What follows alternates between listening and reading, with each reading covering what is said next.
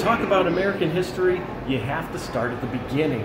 The United States simply started as a group of British people that were trying to assert their rights as British.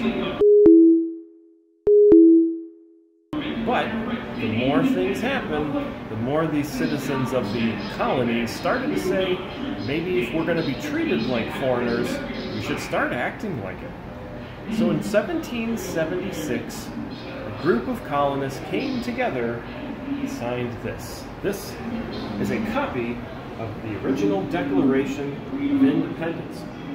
This is the certificate that in our mind says we are an independent country and don't have to answer to anybody. Many famous Americans signed it, including John Hancock, whose signature is very big, right in the middle, big enough so that the king could see it without his glasses. Now, Great Britain obviously did not want to give us up so quickly, and the American Revolutionary War followed. In 1783, we were officially recognized as our own separate, independent country. And from there, more than 200 years later, we have continued to write that great story that is the United States.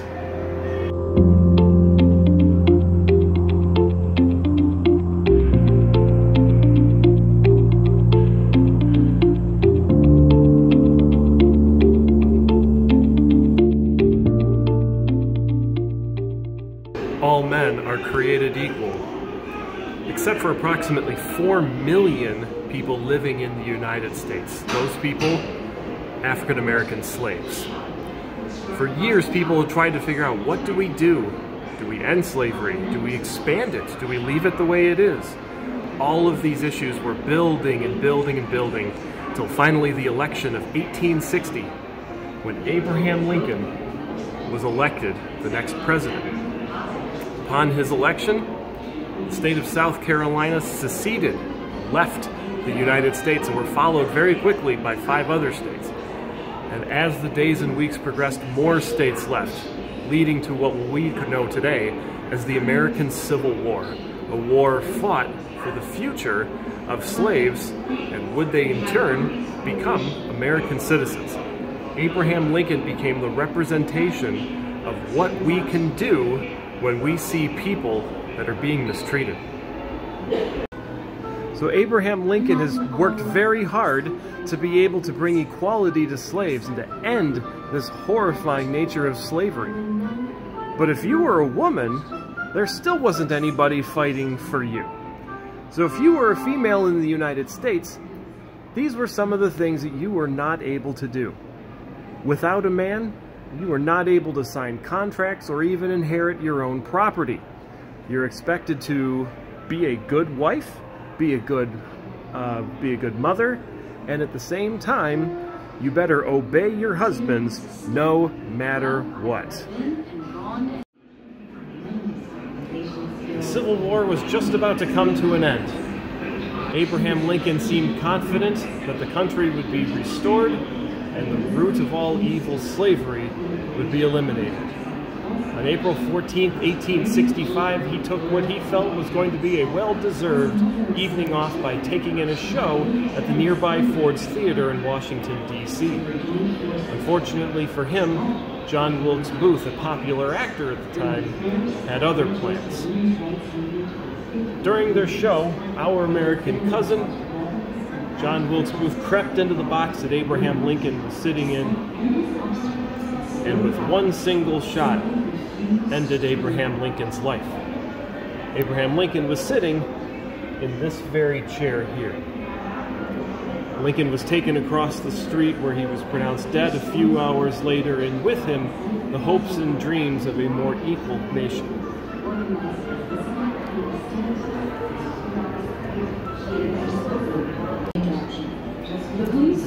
19 teens, it was time for women to step up. Women like Elizabeth Cady Stanton, Alice Paul began protesting openly out in the streets, sometimes right even in front of the president's house. All of this would lead to the passing of the 19th Amendment, which finally gave women the right to vote.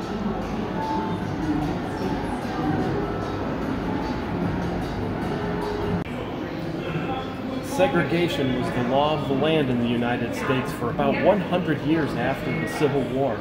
Everything was segregated, including public city busing. One day on December 1st, 1955, an African American woman named Rosa Parks refused to give up her seat on this very bus, that seat right across the way there. Rosa Parks' subsequent arrest was more than what the people of Montgomery could stand. And for about a year, they refused to ride this bus and all other buses in Montgomery until they were desegregated, which they would be about a year later in 1956. This bus represents what people can do when they see a wrong and make a point to right it. Now, I was a good student. Anything that the teacher asked me to do, I did it. If you were in a student in the United States in the 1950s, one of the things that teachers might ask you to do would be to duck and cover. Now, duck and cover drills were things that were meant to practice Americans getting in the habit of preparing for what might happen if there was a nuclear war In the event that the Soviet Union or anybody was choosing to use their nuclear weapons against us, we wanted our kids to be ready and wanted our kids to be prepared for that. So three buzzes would go off, the kids would go under their desk, put their head down, and cover their neck with their hands. That was part of being a student in the 1950s. The threat of nuclear war was always real, always there. One of the biggest contributions to the United States that is provided all throughout the world is the idea of a presidency, an elected leader. And John F. Kennedy truly represented that when he was elected president in 1960. He represented not only the American ideals, but he also represented youth, excitement, enthusiasm for, for the next generation.